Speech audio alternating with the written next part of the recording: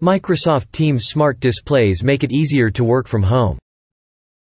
In addition to detailing new features for its Teams software, Microsoft has also taken the wraps off Microsoft Teams displays, which are small portable displays that include high-quality microphones, speakers, and webcams for use with video chats.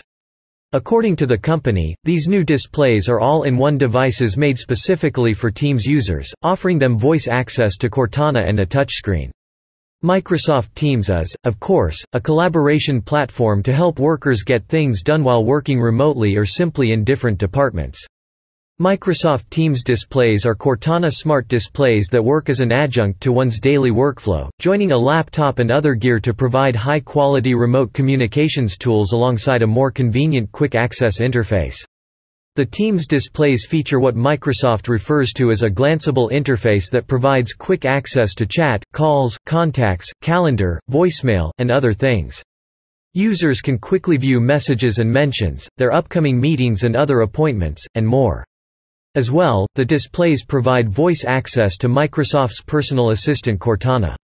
Users are given a certain degree of personalization control over the Microsoft Teams display, including the ability to change the wallpaper.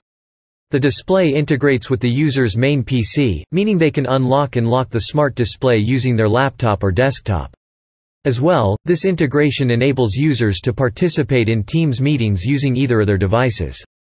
Microsoft says that its Teams displays offer enterprise-grade security and necessary security features, including shutters to cover the webcam, mute switches for the microphones, sign-ins using Azure Active Directory credentials, an admin portal for managing and updating the devices, and Cortana enterprise-grade services.